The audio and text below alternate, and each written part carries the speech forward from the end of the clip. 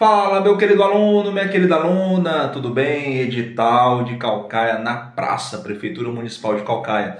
E hoje à noite eu vou estar com você no Carranza Cursos com língua portuguesa. Então, vamos conhecer a banca Fundação Cetred e vamos ver por onde começar o estudo da língua portuguesa. Então, vem comigo, aguardo você.